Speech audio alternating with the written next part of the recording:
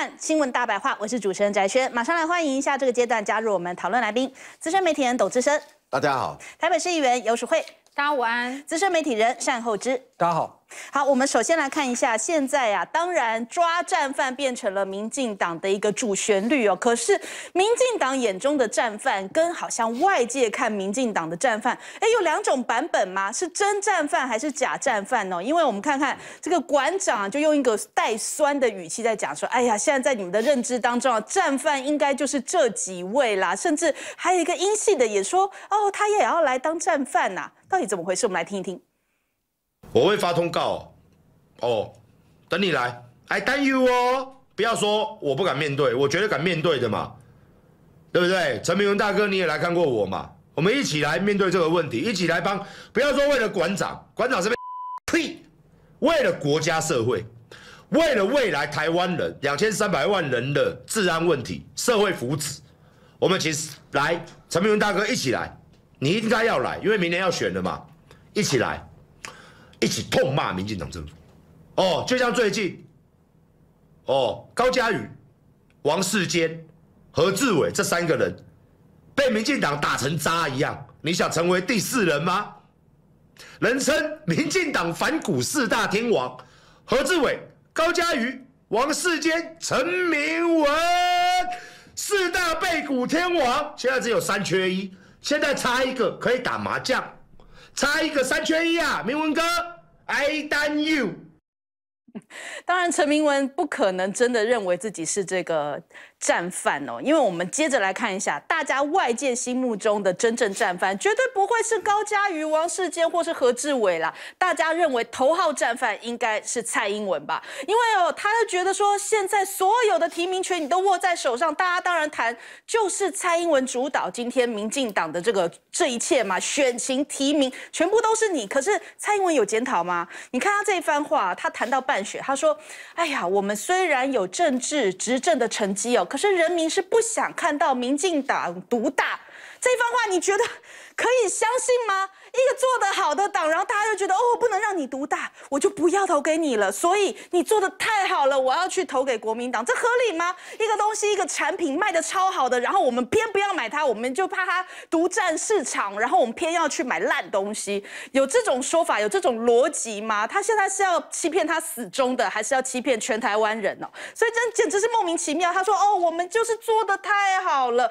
我们的执政成绩就是因为人民不想看到民进党。独大，所以网友在那边讲说，你到底在说什么呀？还说还讲了一副那种不想让，故意不想让这个国民党赢啊？你要不要自己想想你在说什么，再来跟大家讲话？是没有读考机吗？还是呢？我们看到另外一位战犯林志坚哦，因为这几天也没有他的什么出来讲话任何消息，因为很多人都觉得就是你林志坚开了这个一大破口，你现在还不出来谢罪啊？但是呢，刚刚最新消息出来，高嘉瑜不是讲一尺五命吗？现在。台大学伦会决议陈明通可能不适任哦，有这个独家消息出来，即将在择期公布，这个我们后续继续来关注哦。那再来陈时中啊，也是被大家认为说一大战犯嘛，就是觉得这个你这个防疫没有做好，让很多支持者觉得不对呀，我们就是不认为我们防疫做得好啊。可是陈时中的感觉是平行时空哦，他是说什么？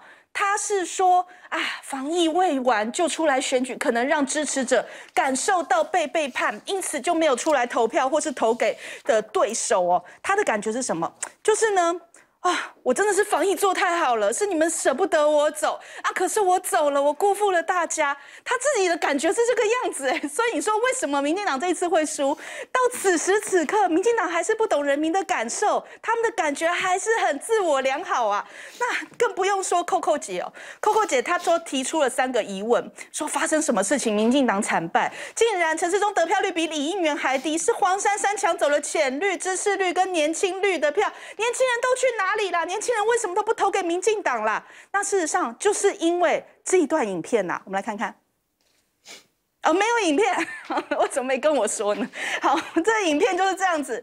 张淑娟就是被你这样追着跑嘛，你就是因为这样子跑着，这样子去在那边说张淑娟女士，我跟你道歉，我跟你道歉，就是这一幕让很多人已经觉得受够了。然后你连慈济都出征，这些难道不是让年轻人觉得看清楚民进党的原因吗？再来，我们来看一下陈明文哦，现在最新的一个讲法，更让大家觉得快昏倒了。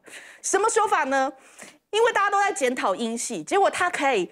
逆着说，他就讲说，其实英系是功臣呐，你看看我们还有一些执政限制，就是因为英系才守住啊，不然你的意思是什么？不然全台湾应该全部都败掉，是靠着英系才守住这几个县市吗？所以他真的是很能够睁眼说什么话吗？你看看管碧玲啊，讲说要抓战犯呢，我们承担呐，但检讨陈时中团队哦，无法解释屏东的选情哦，他等于说也替陈时中脱罪一下，然后因为讲说，哎，你看连屏东。都选不好，这应该是整体的一个问题哦。所以网友就哭手改图啊，就说啊，这几位哦，啊，自我的感觉民调很好，这个蔡英文呐，防疫没错，陈时中，然后这个陈明文讲说英系是工程，然后林志坚双论文双杀。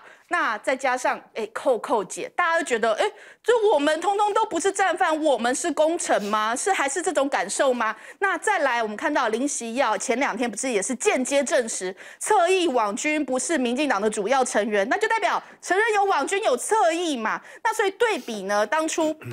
巧心秀出来这一个截图，说啊，阿中进办要求的很明显嘛，这如此对照下来，就代表说你民进党的确跟网军有来往，他不是你主要成员，可是他也是不可或缺的成员，是吧？那你是不是要先讲清楚这个侧翼这种隐形的战犯，是不是你们现在民进党也应该要做一些相关的清理哦？所以我们看到很多人，哎，在这个时间点突然跳出来讲什么，讲说，哎呦，这些网军哦都是受政府指挥啦，让民主荡然无存呐！罗志珍讲说啊，民众不满网红侧翼比候选人还抢镜啊！哎，这也不是一天两天的事情啊！当初赖清德就讲说国家机器呀，网军呐这样的打击，你们现在才看见有网军吗？现在才开始要装哦装清高说哦，民进党这样子很不好吗？都已经让人家觉得很假了啦！那我们看到连这个粉砖只是堵拦的，我都讲说不忍了开炮民进党。虽然他后来又剖了一篇文说啊没有啦，我只是钓鱼哦，什么你们这些人被我骗了，但是这会不会也反映？出来很多侧翼也觉得，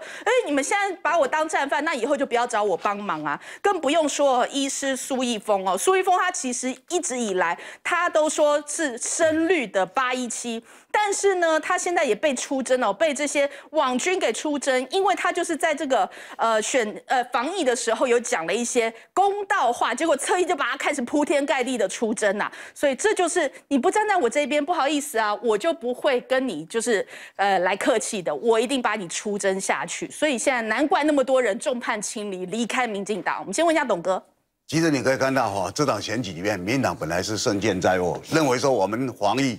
好，这两三年来，我们掌握了所有的媒体，所以我们把陈世忠好塑造成一个神的地位。那由陈世忠来领导全台湾各县市的这些候选人的话，那这种外溢现象一定会让民党大赢。所以民党很多人看好陈世忠，那他又是蔡英文指定，所以你看管碧玲他是高雄的，他也来帮陈世忠；庄瑞雄他是屏东的，他也来帮陈世忠。司法院长的女儿也来帮陈时中，法务部次长蔡必仲的女儿也来帮他，对不对？徐国勇的女儿也来帮陈时中，为什么？因为大家需要陈时中，因为陈时中会当选呐。我们如果帮过他的话，我们这个精力就不得了了。嗯，哦，陈时中竞选总部的什么什么哇，那当然最需要这个精力的人叫陈建仁啊。蔡英文说这个回借给你，陈时中一定当选，你去当主任委员，到时候。战功第一笔就是你，所以你来选总统最好。好，所有人都把注都压在陈时中。可是陈时中呢？陈时中说：“我你们都说我民调高，叫我出来选。”哦，陈时中简直是一张白纸啊！白纸就要革命啊！哦，大家看了吧？所以你们都叫我来选啊！现在不能怪我啊！哦，是，这是便当会里面的内容。可是你可以看到，陈时中会输是民进党大输，是为什么？因为这场选战很简单。就是老百姓对于这场疫情，啊，对疫情他们的看法，这些看法跟你们过去掌握媒体的看法是不一样的。是，因为选前两三个月，哦，慈济功德会，啊，日本不让高端进去，一桩一桩的出来的话，人民才发现说，原来这两三年你们的防疫都在骗我们，都在骗嘛。所以陈时中人设崩坏，不止那个马桶，蔡英文哦，那时候力保这些人，大家才发现你们整个执政团队，原来你们就是会包装，可是你们做的东西是不真实的，所以人民。唾弃民进党，并不是因为说哦，他们不想让民进党独大，而是看穿了民进党。然后你们民进党把台湾搞成这样，最后有那么多人死亡，最后有那么多年轻人受伤害，那其他的年轻人呢？他们不投民进党就可以明白了。嗯，好，我们紧接着问一下淑慧。啊，我觉得看到蔡英文的谈话哈，就让我想到明朝的亡国之君崇祯哦，死要面子活受罪哈。怎么样都不肯认错，怎么样都觉得自己没有错哈。这个崇祯在这个亡国之际还讲了一句话，叫做哈，君非亡国之君，臣皆亡国之臣。我不是亡国的君主，我某唔丢，我做眼睛呢哈。但是你们这一些人太烂了哈。才造成这个结果哈，所以今天民进党找战犯，或是我们找战犯，最大的战犯大家都知道就是谁，就是蔡英文呐。昨天我在卸票的时候，就一个大哥说：“你们干嘛去帮民进党瞎操心？你们干嘛帮忙去检讨民进党？你们干嘛帮忙检讨民进找民进党战犯？就让他烂到底，就看这个政党可以烂到什么地步。”嗯，坦白说，我也认同。可是今天为什么我们还是希望说？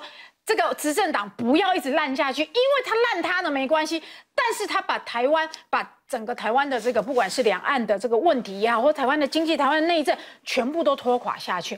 蔡英文执政到现在，所有的问题没有解决，不管是两岸，不管是年轻人的低薪、高房价等等问通膨，他唯一解决的就是一场又一场的选举，一场又一场的选举。陈明文跟馆长说：“我们一起来骂政府。”我告诉大家，他不是良心啊，不是跟高嘉宇、王世坚一样说，我们一起来检讨。他是要转移焦点呐，叫大家一起去骂苏贞昌、骂苏内阁，因为他还讲啦说，其实执政县市都靠我们英系，对啊，才有办法保留下来呀。苏贞昌太烂了嘛，这个执政党太，这个政府太烂，这个内阁太烂了嘛，是，这就是蔡英文的面子啊！哦，我做的很好哦，我没有问题哦，是你们有问题。所以今天到了这个地步哈，我觉得今天民进党的败选就像二零一八年那样子。可是为什么大家看不到民进党的检讨？因为他就觉得我二零一八年大输啦。但是等到总统大选的时候，我再一次打出抗中保台，再一次打出打出这个仇中反中，两岸有危险，我一样中央执政还是我执政，这有没有可能？坦白说，不是不可能哦，哈。所以这两年哈，我觉得与其国民党不断的去哎检讨民进党或等民进党烂，国民党自己要想好，第一个我们要派出什么样的候选人？我这几天去卸票。当然，蓝军支支持者喜气洋洋，可是喜气洋洋、开心完以后，他们下一句就是“国民斗魔个卵呐，不要再像二零一八年一样。”嗯，这个我们的执政高层哦，要一定不要骄傲，一定不要骄傲说这都喜欢熊高哈，然后每一个人都觉得大势可为，每一个人都出来选，不要这个样子哈。民进党烂烂他的，但是国民党也千万不要让人家觉得说无可期待。好，我们紧接着请教一下后知哥。因为民进党现在的状况就是战犯在抓战犯了，那那一定不那一定不一定不会有什么结果。我们刚刚已经已经已经该点都就想怪罪别人，就说他的他的检讨就是说他有一条有一条线你不能碰陈世忠，不能碰孙文昌，不能碰碰蔡英文，碰到你就你就变成变就变成战犯。哦，何志伟也是这样，王志坚也是这样，高嘉宇也是这样，就是说你他他的所有的检讨都都都都必须要画一条线，在这个线里面，所以最后都推侧翼嘛。啊，推林志坚嘛，然后林都是林志坚不好，林志坚怎么可以绕跑？全党都要挺你的时候，你怎么可以绕跑？啊，侧翼怎么会怎么会出现这个这个样子？可是你归根究底，今天的状况当然很会，你可以民党现在失败，你可以找出一堆的理由。好，那蔡英文现在说是人民不想他独大，你今天哎，今天今天六都十五县市啊，你选二加三。你如果选个二加五、二加八，你说民进党不人民不想让你独大，你选到二加三，俗话被瞪口，你还说人民不想让你独大，怎怎么是？人民就是人民就是要背后背后力请他拍垮，不是让你不想让你独大而已。嗯，好，那今天今天的最主要问题是民党问题是其实是在蔡英文身上，为什么？就我们刚刚讲的，他现在检讨有一条线，就不能够过这条线，因为过这条线什么？过这条线代表蔡英文错。过你今天过了过，今天检讨到陈时中，就表示蔡英文蔡英文一直肯定的防疫是错的。对，好，你今天检讨到苏贞昌，表示苏贞昌用用人说是是错的，所以呢，他的状况就变成说，因为蔡英文不能错，所以他碰到蔡英文重视的事情就得硬凹。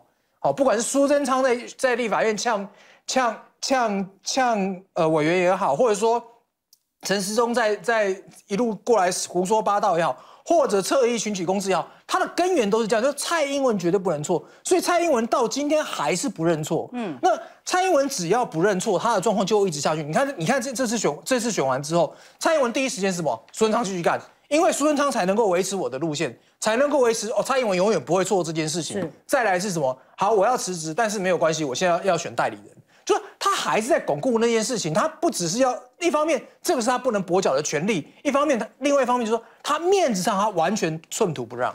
嗯，好，所以我们也想要来连线一下这个苏一峰医师哦，因为他这一次也是等于说被侧翼这个全面的出征啊，不知道苏医师能不能听得到我们棚内电话，听同棚内的声音听得到吗？可以，很清楚。好好好，我们来稍微介绍一下苏一峰医师哦，因为当然大家对于苏一峰医师可能也在这个很多的媒体报道上面都有看到苏医师的评论哦，因为其实他就算是一个民进党的一个深绿的一个支持者，八一七曾经也是投票给这个蔡英文，但是为什么到现在连侧翼哦都会来出征苏医师哦？因为照理来说，大家是可能跟苏医师侧翼们跟苏医师是有一样的理念，就是觉得啊，民进党可以让台湾更好。可是到底是什么样的一个节骨眼开始？哎，怎么连这些侧翼都会把您当成了矛头？我们来问一下苏医师。对，其实哦，我以前哦，在二零二零年之前哦，我是蛮挺民进党的一个深绿支持者啊。那当然，我们投票呢，也是带着全家呢去投民进党啊，然后去成为八一七之一啦。嗯，那其实呢，后来呢，我就觉得越来越奇怪了，因为我是一个胸腔科医师啊，其实我一直有关心这个台湾的空气污染啊。是所以我在二零一四年、一五年的时候呢，就开始有提台湾空气污染严重啊，要改善啊，然后会造成肺癌啦、心肌梗塞啊、中风啊，还有种种的癌症啊。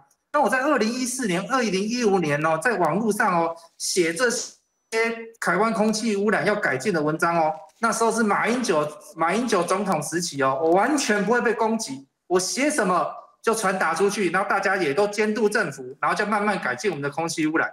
但是呢，在二零二零年这个蔡英文八一七之后再度连任哦，我那时候就是也是提一下空气污染的问题哦，开始哦，铺天盖地的网军侧翼哦，就来攻击我，就把我骂的臭头啊，就说空气污染明明是来自于中国啊，我是中共同路人呐、我为什么要帮中国辩护啊？哦，然后我无论拿出多少的科学数据，台湾做了多少研究，证明说台湾的七成空气污染都是来自于本土哦，他们都是不管照骂，然后就出征出征出征，每天出征。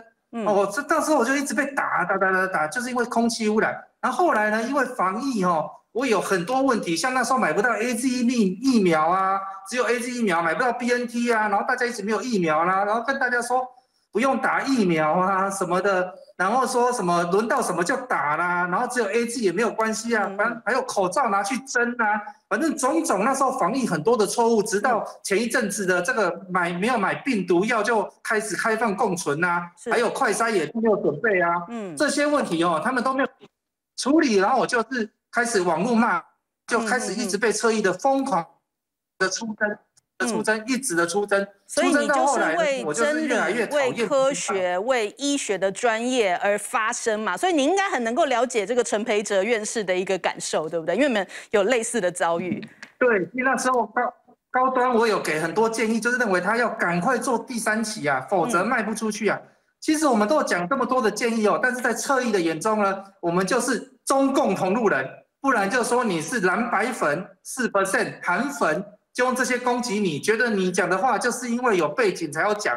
你的讲的真理呢，他们完全听不进去，然后就一直出征，一直出征我，直到今天我的脸书呢，因为我昨天还讲了台南有一个三十岁的女性妈妈，她得了肺癌，三十岁就得肺癌哦，开刀，结果又又要复发了，她跑来找我，结果我一问，他又没有抽烟，也没有二手烟，也没有油烟，也没有家族史，我就跟他叹，然后他就叹气说，他觉得可能是台南空气污染造成的，嗯我把它写在脸书上。昨天和今天又被侧翼出征，嗯，所以呢，这个侧翼是非常的夸张哦，他几乎听不见，听没有办法容许一件。人起一句反政府或者是检讨政府的话哦，他完全他心中的利益哦，只有就像刚才那个大哥讲的哦，只有蔡英文蔡政府的利益哦，所有人民的死活他都不管哦。无论我们提出再多的一些口罩防疫策略或空气污染这种罪大恶极的一些空气污染，甚至有人都已经年轻就得了肺癌。他们眼中都不管，他觉得你讲的这句话会让绿营掉选票，你就该死，你是中共同路人，他就找人来围剿你、出出征你。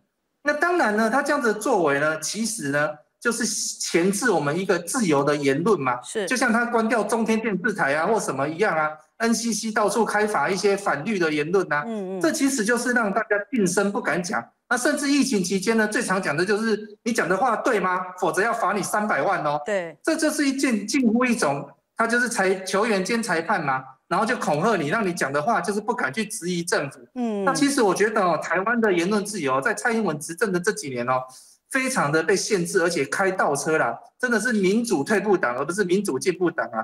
我们反而哦，现在台湾哦，越来越跟中共对岸看齐哦。我们有很多的这种战狼哦，绿色战狼哦，小粉绿哦，在巡网络上巡查我们的言论，只要你言论一不对哦，马马上来出征你，然后呢一直围剿你，然后甚至都是用诽谤方式的去攻击你。然后那些侧翼带头呢，我们也知道徐巧芯委员最近也破获整个群组七百多人的，全部都是这种侧翼网军在攻击别人，所以他们其实行之有年的啦。而苏伊士也是被出征了三四年，苏伊士想请教您哦，就是。您现在对于民进党，您还会觉得说您支持民进党吗？或者说您觉得你现在已经是民进党已经变了，不再像是你以前支持的民进党？那你有什么特别想要跟民进党呼吁的话吗？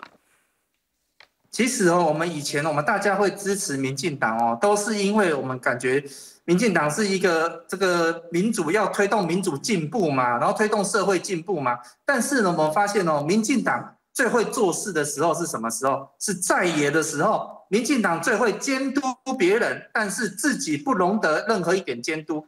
那到时候他们没有执政，所以我们看不出这个缺点。我们只看到民进党很用力的监督政府，很用力的监督中央，我们就很多民众啊，我们的就相相信他，觉得哇，选民进党一定是对的。年轻人就有冲劲，觉得哇，民进党带领我们革命，让国家越来越好。结果没想到，民进党执政之后呢，尤其是蔡英文总统哦。这个腐败的速度是远远超过，真的是比以前国民党还要夸张很多啦。所以有很多像我这样的以前的深绿选民呐，不不管是有没有被出征哦，心中已经有一种被骗的感觉啦。所以我们可以看到这一次哦，其实有很多民众哦，可能在这疫情疫苗看得出来，民进党这个手法哦，真的是一一再的给你造神包装，陈时中多厉害多厉害，结果看得出来是黑箱黑箱再黑箱，嗯，然后不然就是什么问三不知，然后不然就是。搂人妻啊，喝酒千杯千杯喝一千杯啊，我一几万人一起吃饭呐，哇，根本就看不出他有什么优点，然后推出这么烂的人选，硬要说他多厉害，所以看得出来民进党哦，政府哦很会选举啊，但是哦不会执政。那苏医师，你这一回还有含泪投民进党吗？还是说你这一回已经不再支持？没有没有没有，这一次绝对没有含泪，这一次就是拜托身边亲朋好友不要再投民进党了。所以我们也看到很多亲朋好友，如果他是挺绿的哈。这一次哦，他们真的有点投不下去了。嗯，所以这次民进党的票哦，虽然快，虽然为什么会快速萎缩呢？就是有一些浅绿中间的支持者都不想要出来投票了，所以他就大量大量萎缩。就是用不投票来表达抗呢，嗯。对，表达我们的愤怒啊！那国民党其实也要赶快争取这些票啦，所以也刚才也讲得很好，国民党要表现出自己的优点，要越来越好，让大家能移动过去，是，而不是我们就是短暂吸纳这些仇恨值。那这些仇恨值呢，可能的票不会长久，嗯，那要赶快做出自己的优点。那我其实我觉得很多民众心里已经。一直觉得应该要政党轮替，政党轮替，因为民进党做了这么多年，其实弄了很多黑箱都不让大家质疑啊。他每次要质疑哦，苏贞昌就在那边，你在叫什么？你在叫什么？就不让人大家质疑。整个国会殿堂就变成吵架殿堂。我们很谢谢这个苏医师，真的讲出了很多民进党支持者这长期这一阵子以来，可能看到以前支持的民进党已经变化了、变质了这样的一个心声了。我们也谢谢苏医师今天百忙之中特别用抽空用视讯的方式跟我们连线。那谢谢苏医师，拜拜。那我们就先进一下广告，休息一下，广告之后马上回来。